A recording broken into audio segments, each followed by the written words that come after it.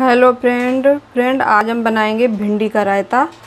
तो मैंने एक कटोरी भिंडी का रायता बनाने के लिए दो मीडियम साइज़ की भिंडी ली है। ये देखिए, मैंने इसे इस तरीके से स्लाइस में काट लिया है।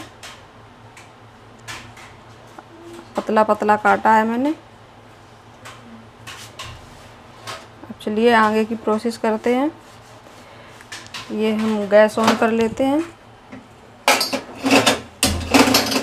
अब इसमें डालेंगे थोड़ा सा ऑयल ये देखिए, मैंने इसमें थोड़ा सा ऑयल डाल लिया है।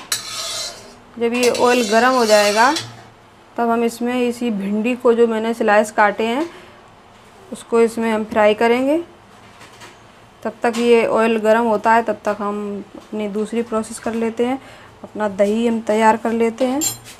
तो ये दही रेडी करने के लिए, रायता के लिए, ये मैंने भुंजा हुआ जीरा पाउडर लिया है, हाफ़ टी स्पून ये चौथाई चम्मच काला नमक और ये चौथाई चम्मच जो हमने घर में अपनी चटनी बनाई थी, सूखी चटनी, वो ले रही हूँ मैं। ये सारी चीज़ें इसमें डालने के बाद इसे हम अच्छे से मिक्स कर लेंगे।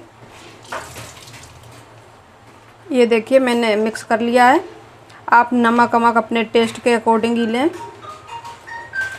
तब तक देखिए ये मेरा ऑयल गर्म हो चुका है। अब हम इसमें डालेंगे ये भिंडी।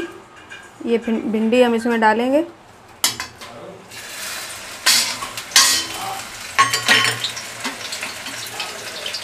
ये देखिए भिंडी हमने इसमें डाल ली है। ये देखिए भिंडी इसमें फ्राई हो रही है। थोड़ा सावधानी से ही करें, क्योंकि तेल बहुत ज़्यादा चिटकता है। कुछ भिंडी मेरी पक चुकी हैं, उन्हें निकाल लेते हैं। ये देखिए, मेरी भिंडी फ्राई होके रेडी हो गई हैं। ये एकदम क्रिस्पी हो जाती हैं। ये देखिए।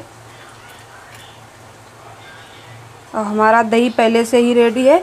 ये झटपट बन के रेडी हो जाता है भिंडी का रायता। अब हम ये भिंडी को जो क्रिस्पी मैंने तैयार की है इसे भून के, अब हम इसमें डालेंगे। ये देखिए।